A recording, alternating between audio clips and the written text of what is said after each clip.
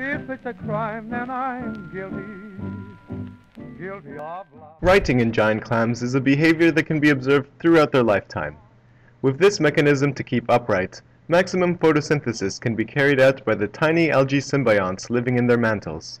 In the coral reef environment, being knocked over by either waves or swimming animals is common.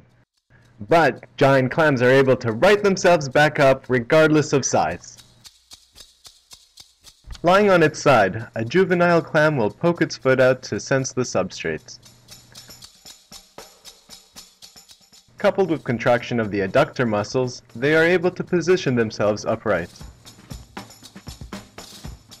In contrast, larger juveniles do not typically use the foot to upright. Strong contraction is sufficient.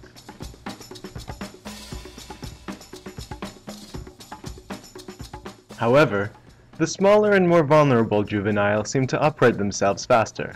That said, giant clams do not always succeed in righting.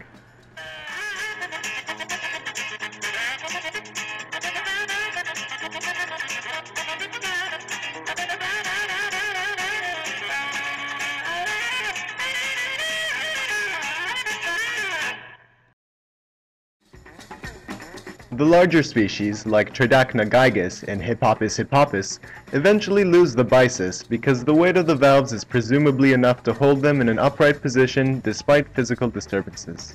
The righting response maintains the clam in a favorable orientation to maximize sunlight capture.